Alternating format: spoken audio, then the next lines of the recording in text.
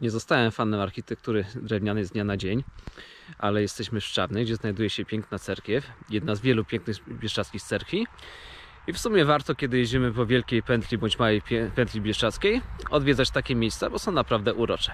A jak bardzo urocze, możecie zobaczyć.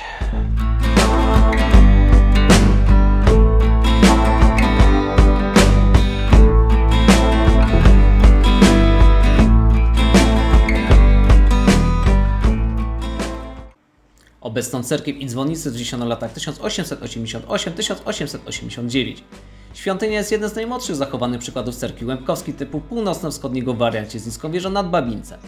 Zabytek jest świadectwem kultury budowlanej i religijnej Łębków oraz ich specyfiki. Wewnętrzną cerkwi zachowane są malowidła ścienne w oryginalnej tematyce.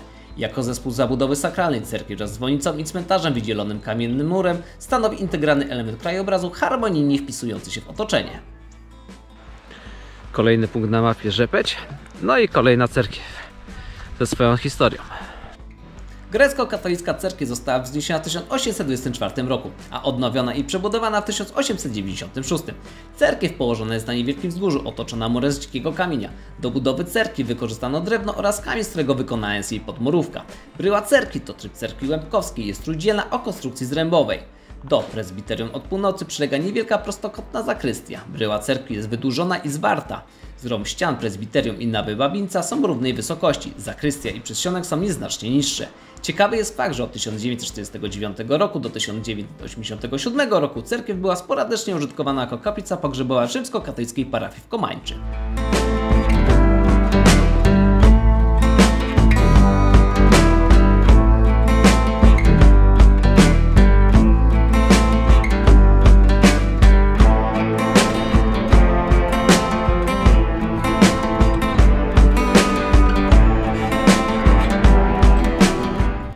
Cerkiew pod wezwaniem opieki Bożej wzniesiono w latach 2008-2010 w miejscu spalonej 13 września 2006 roku oryginalnej cerkwi.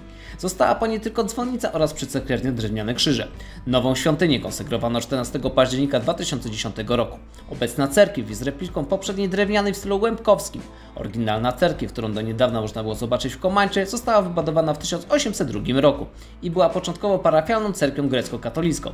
Funkcję świątyni prawosławnej zaczęła pełnić dopiero w roku 1963. Przed pożarem wewnątrz znajdował się piękny ikonostas z 1832 roku, który spłonął wraz z cerkwią. Cerkiew Komańcze była wybudowana w stylu wschodnio-łębkowskim.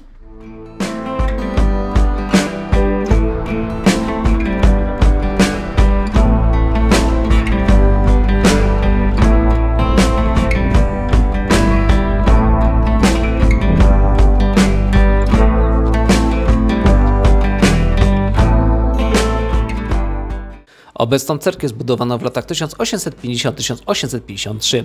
Po wysiedleniu miejscowej ludności w 1946 roku niezabezpieczona cerkiew niszczała. Od 1948 roku została nieformalnie przyjęta przez parafię rzymskokatolicką w Komańczy, która sporadycznie wykorzystywała jako kościół dojazdowy. W tym czasie naprawiono jednak zniszczenia.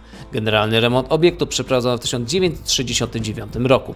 Cerkiew jest budowlą drewnianą o konstrukcji zrębowej na kamiennej podmurówce. Do mniejszego od nawy zamkniętego trójbocznie przylegają dwie zakrystie. Wszystkie pomieszczenia nakryte są płaskim stropem, wnętrze pokrywa XIX-wieczna polichromia, zachował się kompletny trójsferowy ikonostas. Najprawdopodobniej powstały w tym samym czasie, co sama cerkiew. Oczywiście yy, w Bieszczadach jest więcej niż tych kilka cerkwi, które yy, dzisiaj zobaczyliśmy. Wystarczy zerknąć na mapę, zaplanować sobie trasę i sobie pozwiedzać wedle własnego uznania. Ja Wam pokazałem kilka, które mi dzisiaj było najbardziej po drodze. Mam nadzieję, że Wam się podobało.